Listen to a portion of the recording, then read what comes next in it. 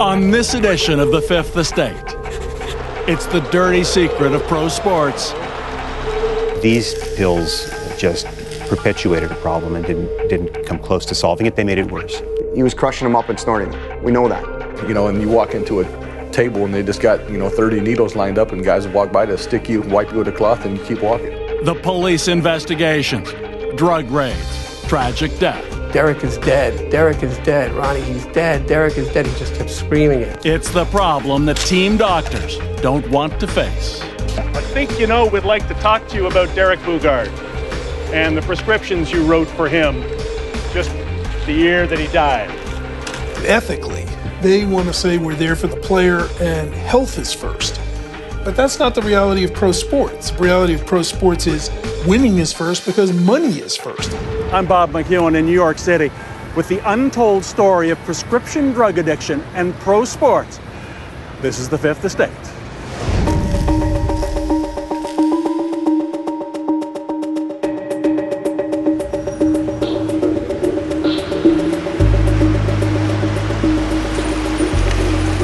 It was a Friday, May 13th, 2011, at an upscale condominium in Minneapolis, Minnesota. NHL player Derek Boogaard has been found dead at his home. He just finished his first season playing with the New York Rangers. The death of any 28 year old would be tragic. Derek Boogaard's was that and more. From a big, close family. The Canadian kid who fulfilled his hockey dream. Derek Boogaard! To become, for some, an NHL folk hero. But also the symbol of a fatal flaw in professional sports. A toxicology report shows Boogaard died from a combination of alcohol and painkillers. The death was ruled an accident, an unintentional overdose of alcohol and the painkiller oxycodone. But as we'll show you, it was an accident waiting to happen because the fate of Derek Boogaard is a troubling example of how highly trained professional athletes can become dangerously addicted to pills, medication prescribed for them by their own team doctors. Randy, here you go. Come on. Come on. Come on. Good girl. It's a story that couldn't be told without this man, Derek's father, Len Boogaard, left with his son's memory and a mission. Some of the stuff that uh, you know was being said about Derek, and it just wasn't ringing true.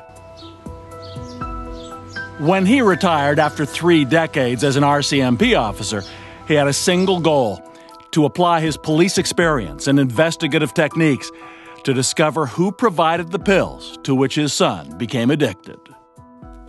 Yeah, no, basically it's, uh, you know, that uh, I look at it as, I guess, all right, uh, you know, you uh, were culpable in Derek's death, uh, you enabled Derek's death, but there's no accountability, you don't have to answer for it. So, and with Derek as well, that Derek's not the only player that's in this situation.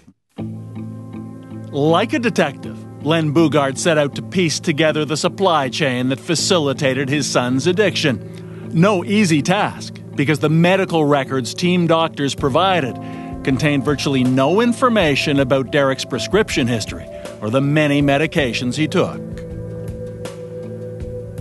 But the former Mountie wouldn't take no for an answer. With ingenuity and legwork, he finally pieced together this the shocking list of drugs his son had been given in the NHL. Page after page of prescriptions, nearly 200 of them written by two dozen doctors for thousands and thousands of tablets of powerful painkillers and other dangerous drugs. Among the drugs Derek Boogaard received most frequently, the painkillers hydrocodone and oxycodone, and the sleeping aid Ambien. We showed that list to Dr. David Juurlink, head of pharmacology at Sunnybrook Hospital and a professor of medicine at the University of Toronto. He didn't need to be given prescriptions like this over and over again. Uh, the people who wrote those prescriptions should have known, and I suspect they probably did know, that what he really needed was help. Uh, these pills uh, just perpetuated a problem and didn't, didn't come close to solving it. They made it worse.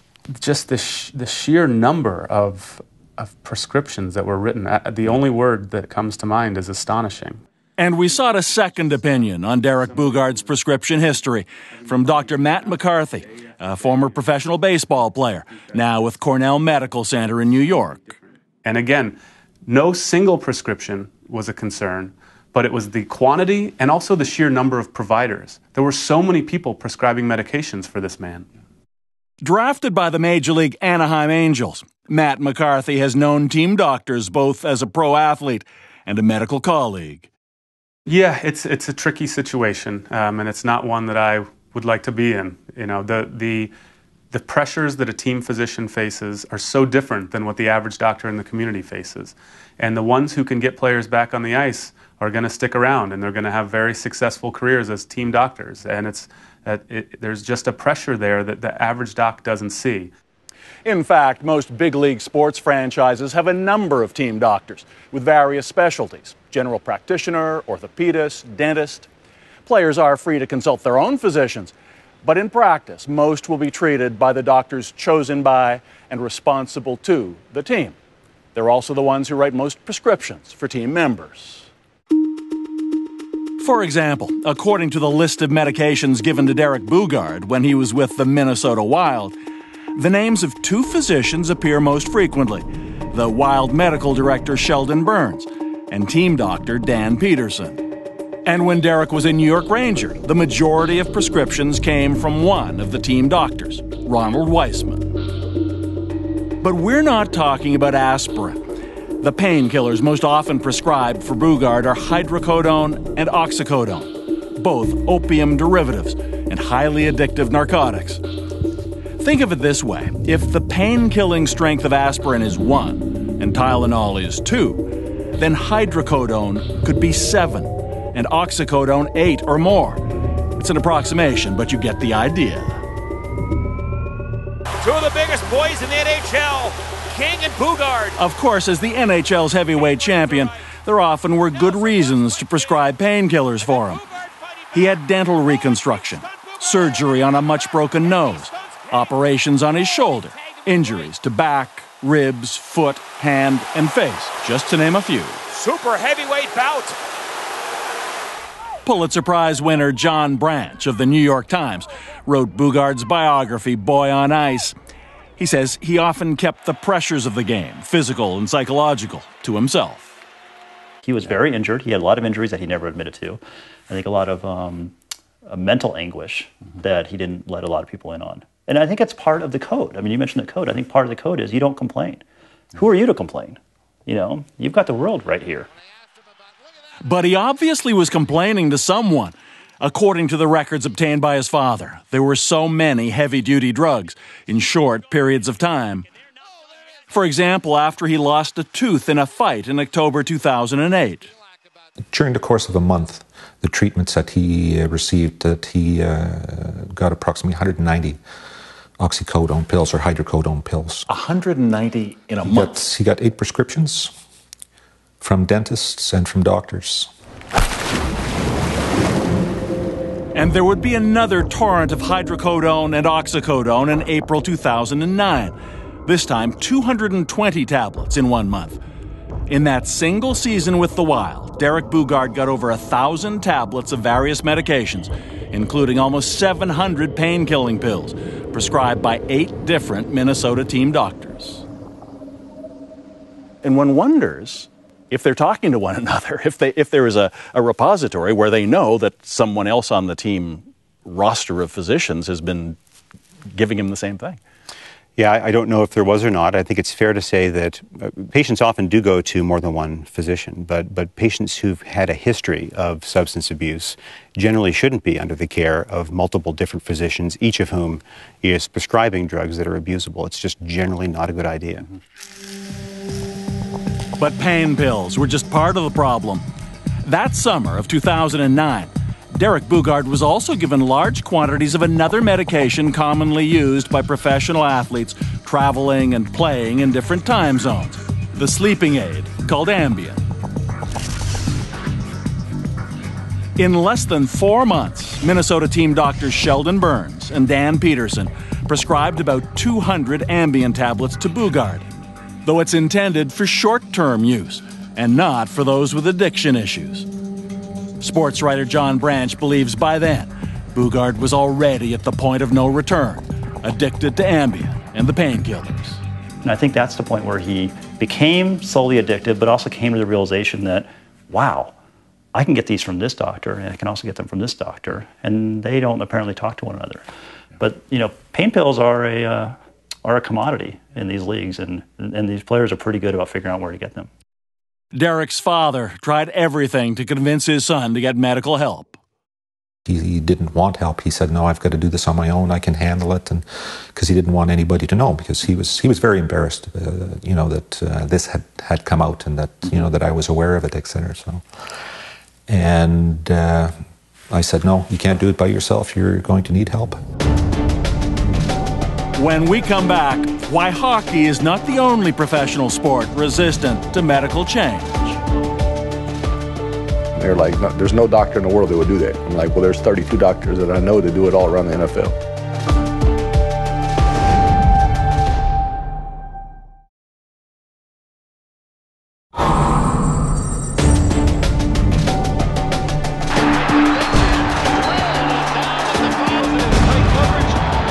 They say if hockey is a contact sport, then pro football is a collision sport with the injuries, painkillers, and pressures on team doctors to match.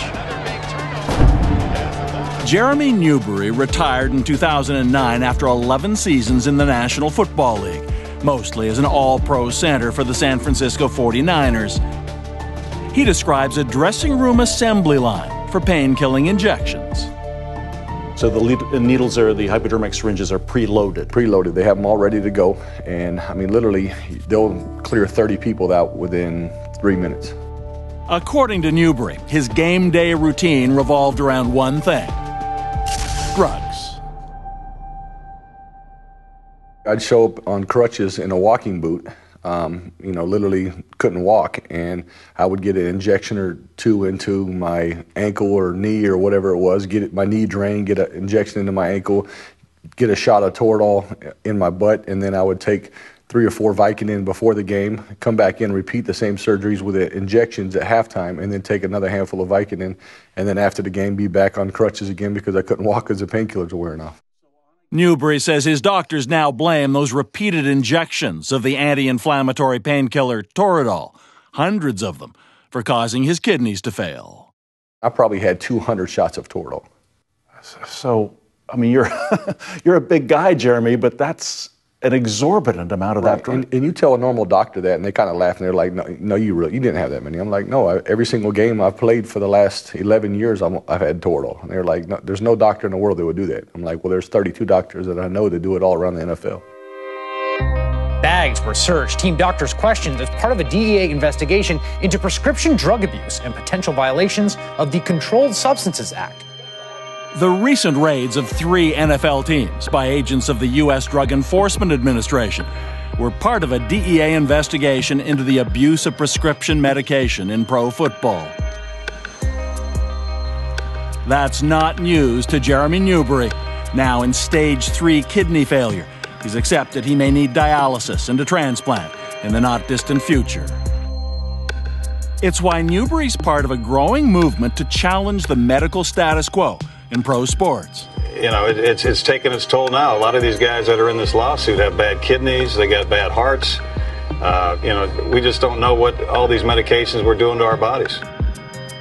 Super Bowl winning quarterback Jim McMahon is among 1,300 former NFLers who've sued the league, claiming the indiscriminate use of medication like painkillers has adversely affected their long term health. And the Canadian Football League championship game is underway. The long term health of Canadian football players is something I happen to know a bit about.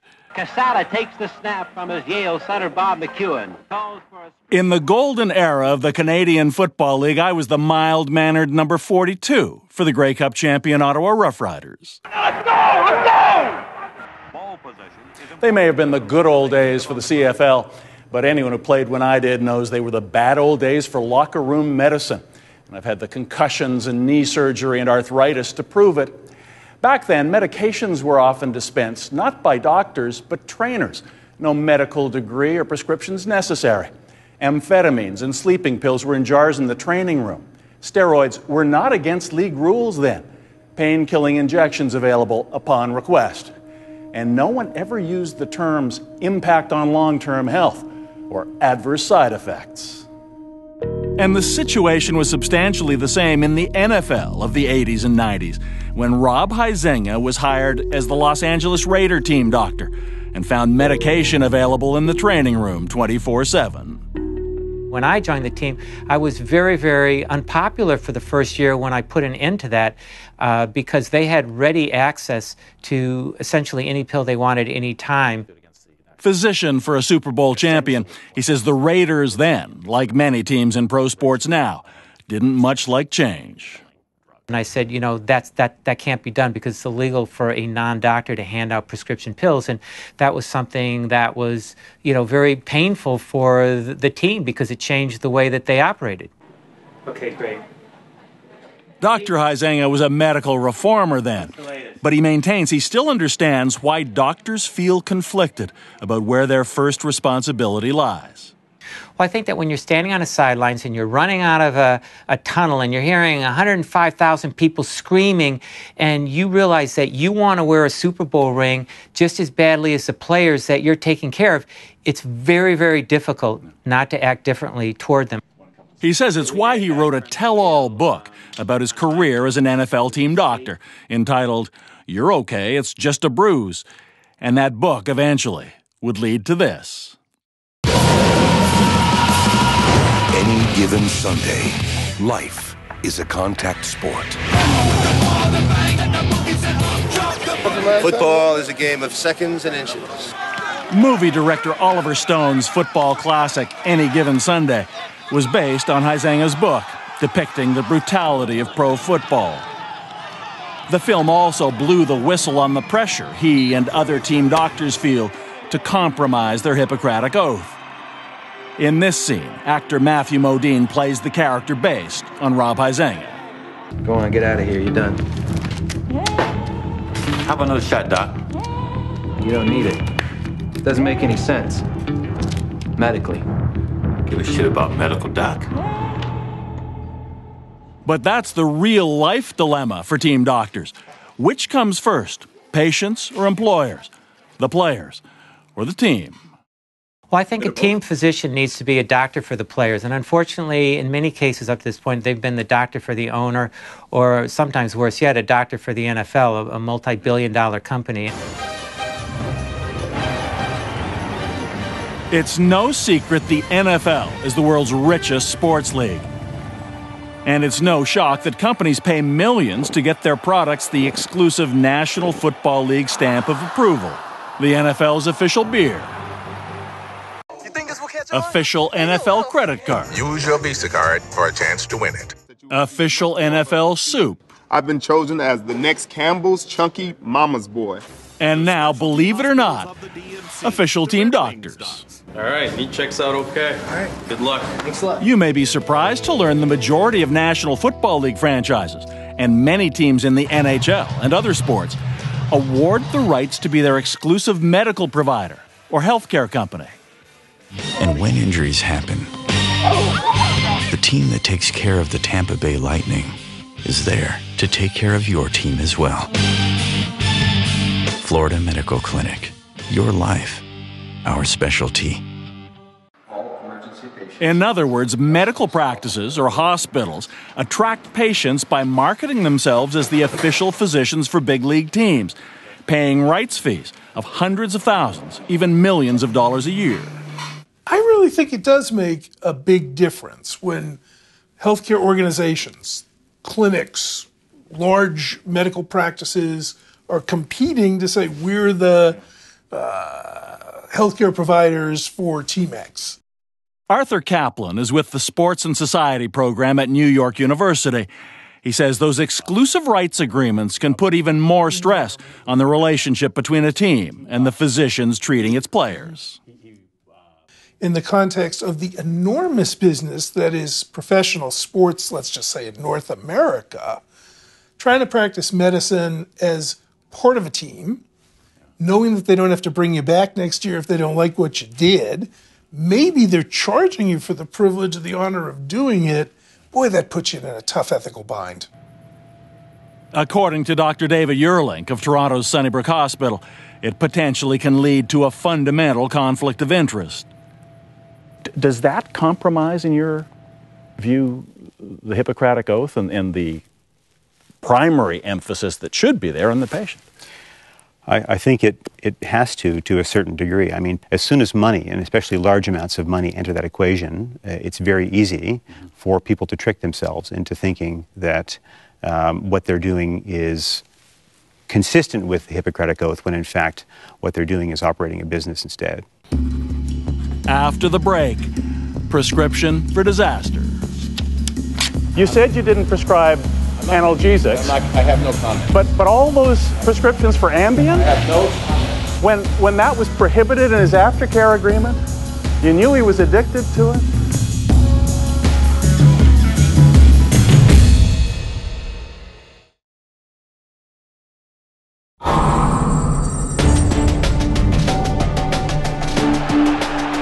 National Hockey League player Derek Boogaard had a drug problem addicted to painkillers and the sleeping aid Ambien. But he had another problem. The Minnesota Wild team doctors were the ones who'd prescribed many of those drugs for him in the first place. It was September 2009 when Boogaard was admitted to the NHL substance abuse program, ordered into rehab in California. Boogaard, I think, is six foot seven, folks. He's a huge man. But three weeks later, he was back on the ice again released from rehab after signing this aftercare agreement. First condition no medications, drugs, or alcohol, unless specifically approved by his doctors. His father, Len Boogaard, says that was doomed from the start. And to your knowledge, did he live up to that agreement? No, not at all. Boogaard takes him on it. But outwardly, at least, Derek was back in fighting form because he was about to become a free agent, and there were teams willing to pay top dollar to lure the NHL's biggest, most fearsome player. One team in particular pulled out all the stops, producing a personalized recruiting video. Derek Boogaard, now is your chance to experience it, to live it, to make history of your own as one of us. That marketing campaign worked. Derek Boogaard chose the bright lights and big city, signing a four year, $6.5 million contract to play in New York. But his fresh start in Manhattan in 2010 wouldn't last long.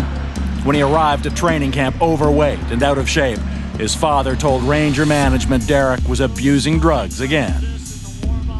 What had you hoped would happen? They would get a hold of the substance abuse uh, doctors and, uh, you know, saying, hey, you know, this is the problem that we're having, or, you know, that Derek has relapsed.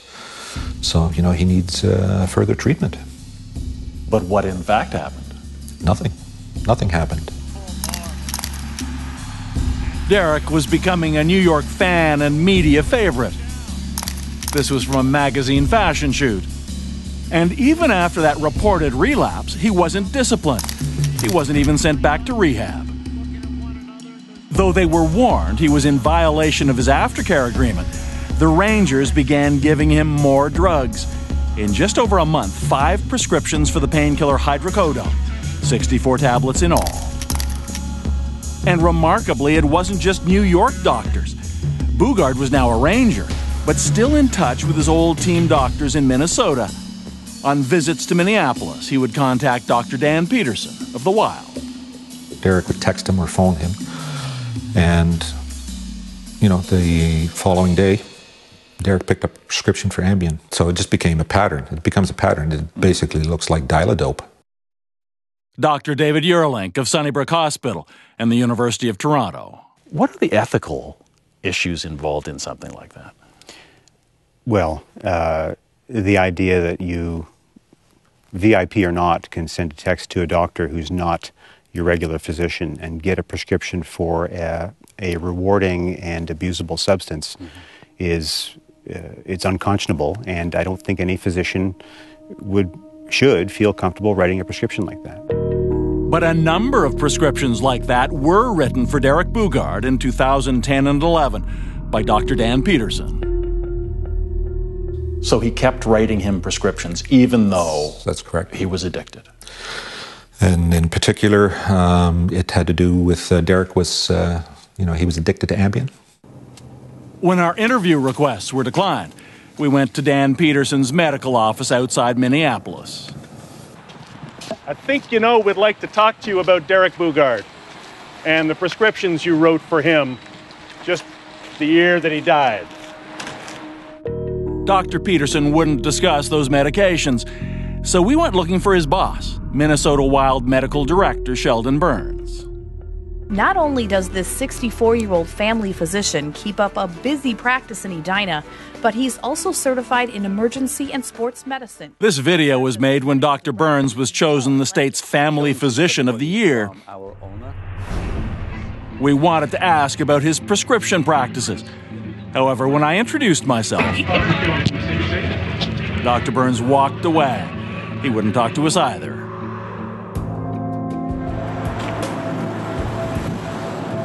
Back in New York, early in 2011, when Len Boogaard went to visit his son, the toll of drug abuse was obvious. Len was shocked by the disarray he found in Derek's apartment and his life. His apartment itself, the, it was it was just a pigsty. Uh, there were uh, takeout containers, you know, scattered about the apartment. Uh, you know, in uh, in his bedroom, there was a pile of clothes. Must have been about three, four feet in height, just a pile. So, yeah, no, it was uh, it was a disaster. Then he saw the bottle of Ambien pills. Len calculated Derek had taken four tablets in the previous 24 hours, an excessive amount. And remember, he was an Ambien addict. And uh, so I looked at it, and it was uh, Ambien, and it was prescribed by Dr. Weissman, team doctor. The team doctor. In the period of about four months, Derek Boogaard got a total of 10 prescriptions for Ambien, written by New York Ranger team doctors. 244 tablets in all, the majority from Dr. Ronald Weissman. I think what really stands out is in the last few months of his life, the um, enormous number of tablets he was prescribed for the sleeping pill Ambien. Uh, it's more than unusual. It's it's dangerous. I mean, the quantities of Ambien here are extraordinary. When the Rangers refused to allow anyone to speak with us, we went to Dr. Weissman's office. Dr. Weissman. Hi, my name is Bob McKeown. I'm with the Canadian Broadcasting Corporation. Hi. Um, I think you may know we've been trying to convince you to talk to us. You know, let me just tell you what we want to know. And you, you, are you just coming here to see You. the doctors? no, You're this just is walking you. in. No, I was waiting for you. um, we want to talk about your prescriptions for Derek Boogaard. You said you didn't prescribe analgesics, not, I have no comment. but but all those prescriptions for Ambien, I have no comment. when when that was prohibited in his aftercare agreement, you knew he was addicted to it. Is there a plausible explanation for all of that Ambien being prescribed by the team doctors? Not a good one. I mean, the, the, the overriding rule of medical practice is first do no harm. Mm-hmm. And in the situation you've just described, it's very difficult to accept that he was given these drugs to the extent that he was. Especially, he says, if there was reason to suspect the drugs could be abused. I think a physician who is knowingly giving drugs like this to a patient, uh, knowing that the patient's misusing them, uh, should have some difficulty sleeping at night. And if they don't, they might want to ask themselves why that is. And by 2011, Derek Boogaard's abuse of Ambien had taken a dramatic turn.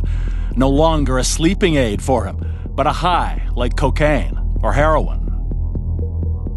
He was crushing them up and snorting them. We know that, right? Jeremy Clark is a fellow Canadian who became Derek's trainer and friend in Minnesota. When Derek was a ranger, he came to New York to help, though it didn't always work. So obviously he was, he, we were working together. He was taking taking a lot of Ambien, and every time he took one, it just got got worse. And by the end of the night, he was hammered.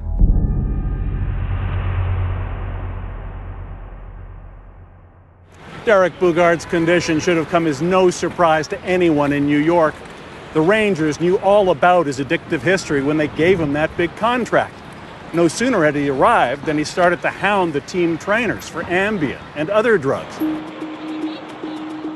But though his father told the Rangers Derek had relapsed, and New York general manager Glen Sather threatened to trade him, team doctors kept writing prescriptions for him.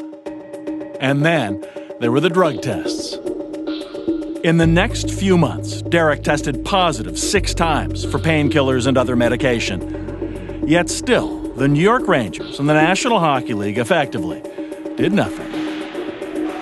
It all came to a head at a Ranger practice early in April. His biographer, John Branch of the New York Times.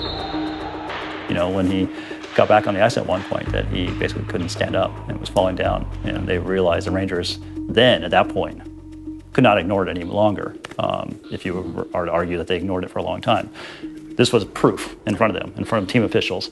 There's something wrong with this guy. He can no longer even stand up on the ice. And so they called his agent and got him into substance abuse rehabilitation, then for the second time in his career. So it was that by the spring of 2011, Derek Boogaard was back in California in rehab. You always have hope. You know, I, I, I never thought that things were going to go the way they went, obviously. Veteran NHL agent Ron Salcer had represented Boogaard since his rookie year. During that second rehab stint, Salcer took his client for lunch and a pep talk. I try to be strong with him and say, Derek, what are you doing? I mean, you worked so hard to get where you are. And as I'm talking, his eyes are just welling up and tears are just flowing out. And I'm looking at him. I know I'm, I'm hitting home and I'm having an impact on him. I, I don't want to do this, but I feel like I need to tell him, straighten yourself out. But once more, after just a few weeks of treatment, Boogaard was allowed a temporary absence from rehab. The plan was to accompany his two brothers to their sister's college graduation. He arrived in Minneapolis on May the 12th, 2011. Rehab seemingly a dim memory. On the itinerary, one of his favorite bars, Sneaky Pete's, right next door to the Dream Girls strip club. There were pills and booze. Just before dawn, his friend Jeremy Clark finally put Derek to bed. Later that day, Friday, May 13th, Clark and his wife were just waking up when their phone rang. It was Derek's younger brother, Aaron. Aaron called. Uh, the screaming that he was dead. We jumped in the car and flew downtown and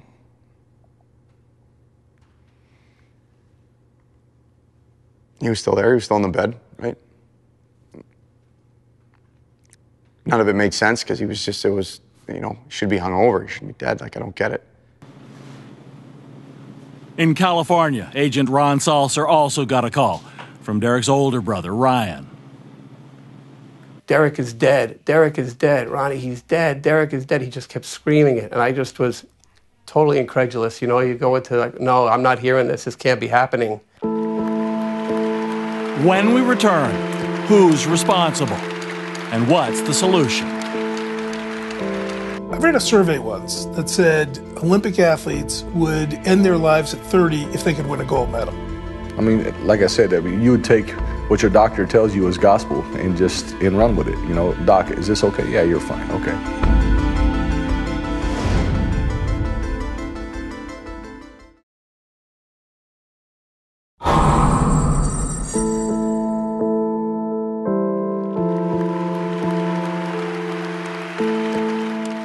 Derek Boogaard's death in 2011, there was a memorial at the home rink of the Minnesota Wild. The lingering question how could this happen to a 28 year old professional athlete in what should have been the prime of his life? Derek's dad, Len, says he still can't help blaming himself. The feeling that you could have protected him in some way? It's it's it's always that case. Uh, I think like you know, hindsight's twenty twenty. You know what what could I have done? Why didn't I do this? Why didn't I do that? You know. You know, the opposite end of the spectrum now, I guess, is that I look at this as this is the one last thing that I can do for him. So. His investigation had uncovered that disturbing record of all the medications Derek received, most from his own team doctors, prescriptions other physicians called astonishing, unconscionable, dangerous. Arthur Caplan of the Sports and Society program at New York University. Yeah, I think it's pretty clear to me in talking to people who've been team doctors that ethically they want to say we're there for the player and health is first. But that's not the reality of pro sports. The reality of pro sports is winning is first because money is first. Caplan says the problem is compounded by the fact that the winning is first reality is shared by many elite athletes. I read a survey once that said Olympic athletes would end their lives at 30 if they could win a gold medal. So we're talking about a group that is not interested in hearing about risk, they're interested in winning. Dr. David Juurlink of Toronto's Sunnybrook Hospital. What about personal responsibility? Here you have Derek Boogaard. Uh, he's hounding the trainers, he's hounding the doctors, his and, and others. He's got black market sources. What about personal responsibility here? Let, us not heap it all on the poor team doctor. Oh, I agree completely. I think that uh, uh, it's easy to blame drug companies. It's easy to blame doctors, and you know the problem here is that the drugs that that Derek Boogaard was was given in in large quantities are they're inherently reinforcing. They tend in the right patient or in the wrong patient to lead to patterns of use like his, and what he needed was help. It all adds up to a medical minefield in professional sports. The question is how do you balance those issues, legal, ethical, and competitive, if you're a multi billion dollar franchise with multi million dollar athletes? For example, if you're the San Francisco 49ers. Remember how former NFL All Pro Jeremy Newberry described the 49ers pregame assembly line for painkillers a few years ago? the doctors say led to his kidney failure. They just got, you know, 30 needles lined up and guys walk by to stick you, wipe you with a cloth, and you keep walking. Was he your doctor or was he their doctor? He was definitely the team's doctor, and they work, you know, for the team, and, and their primary goal, you know, was to keep you on the football field, not your long-term health. Did this ever get discussed with the physician at the time? No. I mean, like I said, I mean, you would take what your doctor tells you as gospel and just and run with it. You know, doc, is this okay? Yeah, you're fine. Okay. But since Jeremy Newberry retired in 2009, his former team has taken a dramatic new direction a partnership with nearby Stanford University that could be a medical game changer for pro sports. Simply put, San Francisco pays Stanford to provide healthcare services to the 49er players there's no rights fee, no marketing agreement, and those physicians are answerable not to the NFL team, but directly to the university. I mean, we don't push drugs to get people back on the field. Dr. William Maloney is a Stanford medical professor and 49er team doctor. And I think the mistake sometimes occurs where you want to become you want to have a relationship with that athlete that's different than a patient doctor relationship, and I think that's a mistake. And Dr. Maloney says the new system has weaned the 49ers from prescription pain medication.